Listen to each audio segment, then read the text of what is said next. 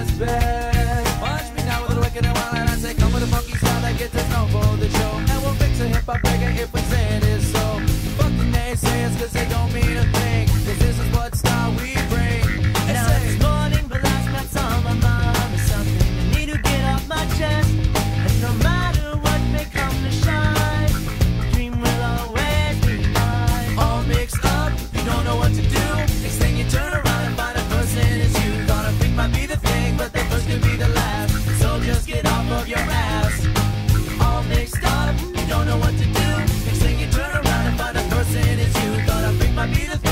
know this will pass. So just get off of your ass.